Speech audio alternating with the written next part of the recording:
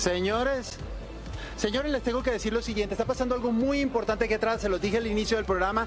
Es la entrevista privada con el jurado. Fans de todas partes del mundo están a mi lado y tengo también precisamente a dos de las personas, de los líderes de opinión más importantes del tema de los concursos de belleza. Lupita Jones de México, Osmel Sousa de Venezuela y de muchas partes del mundo. Quiero preguntarles precisamente, ¿qué opinas tú, Lupita? Lupita, de lo que está pasando. Hablaste con Sofía Aragón, la representante de México. ¿Qué te dijo luego de su entrevista con el jurado? Ay, bueno, sí, estamos estamos todos a la expectativa de ver cómo les va, eh, que ellas logren desenvolverse bien. La verdad es que yo tengo mucha fe en Sofía porque es una gran comunicadora, es una chica que tiene un mensaje muy contundente para compartir, se sintió muy bien, eh, siente que pudo compartir y decir todo lo que ella había preparado para ese momento y sintió, yo le pregunté, ¿cómo sentiste la energía del jurado? De, ¿cómo, ¿Quién le preguntó, sabes? ¿Te habló de algún jurado en particular? No, me dijo de quién le preguntó. de qué edad tenía Lupita. Ay, eso está en Google, o sea, eso se sabe. No, yo no escondo mi edad. Yo no escondo mi edad, querido. Bueno, señores, ya. Pero bueno, a Sofía le fue muy bien. Sintió la energía del jurado muy positiva y que al final de la entrevista, esta Paula Sugar sonrió mucho con ella también. Así que bueno, yo confío que va a estar ahí en el top. Muy bien. Ahora, Osmelo un poquito, requiere un poquito de atención. Yo creo que. bueno, acabo de darme cuenta de un detalle que mucha gente eh, no lo sabe. Eh, justo estaba pasando la candidata de Venezuela, pasó por enfrente tuyo y tú le mandaste un besito. Cero resentimiento, cero, bueno, no sé. Porque esa niña no tiene la culpa de nada. Eh, debe hacer su papel lo mejor posible y, yo la vi que estaría muy bien. ¿No te, da, ¿No te da un poquito de nostalgia de pronto, aunque estás en otro momento de tu, de tu vida profesional? Bueno, sí, siempre queda un poquito, pero tengo también la ilusión de que las dos que yo traiga, que yo traigo, eh, pues hagan un buen papel. Claro, fue muy difícil todo lo, toda la, escogencia, la preparación, mentalizar a estas niñas que no están acostumbradas como en estos países nuestros a, concursos de belleza y nada de esto. Eh, meter el chip en la cabeza de lo que es esto, bueno, y ahí estamos luchando. Eh, Osmel Lupita, nuestro compañero en estudio, Carlos Adrián, quiere hacerles una pregunta. Cuéntame, Carlitos. Lucho, yo quiero preguntarle sobre las latinas este año, además de su candidata, ¿cuál piensa él que es la más, pues digamos, la más fuerte competidora? Ok, aparte de las candidatas de ustedes, las que trajeron y por las que están apostando todo, ¿cuál creen ustedes, fuera de ellas, que es la candidata hispana con mayor fuerza para ganar?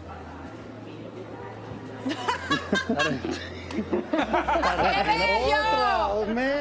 Lupita, tú. ¡Lo amo!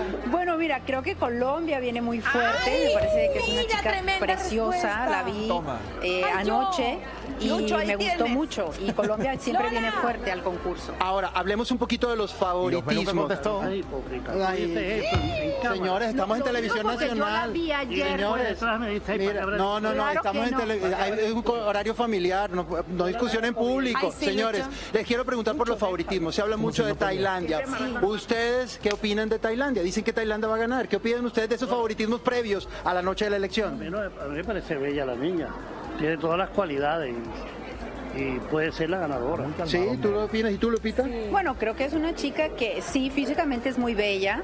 Eh, no la he escuchado hablar, tú la has entrevistado, comentas que, es también buena comunicadora. Pues. Eh, y Pero pues los, favoritismos previos ayudan o restan? Mira, yo creo que la competencia se debe ganar en el escenario, ¿no? Obviamente que en la medida que tú como organización local logras posicionar a tu chica y logras generar todo este marketing alrededor de ella, pues hace que la gente y los mismos jueces tarde o temprano, pues bueno, traen todo este sonsoneto aquí y volcarán a verla. Cuando vienen aquí, que están pues en, en postura de reina, en actitud de reina, actúan como reina como el caso de Colombia, ¿eh? la colombiana me parece bella. Mira, mira, siempre está como debe estar. Hablando. Copión. Yo dije lo mismo de Colombia.